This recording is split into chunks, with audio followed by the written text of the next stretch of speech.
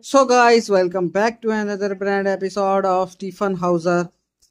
Our beloved Stjepan Hauser just reached to Spain and he has shared uh, this video on his official social media account. So, I am sharing this. You can see that our beloved Stjepan Hauser is just traveling on a luxury car.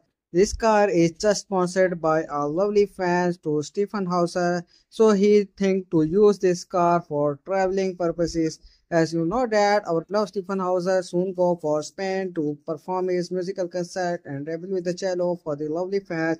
All the lovely fans who just bought the tickets to attend the Stjepan Hauser live show was very happy and was very lucky person because they have got the Stjepan Hauser concert ticket because all the tickets are just outdoors and many fans are commenting that they have not buy the tickets because all the tickets are just sold out. So guys that was our today video. If you like this video please like and subscribe my channel and also press the bell icon to watch latest updates. So guys keep watching. Love you all. Bye bye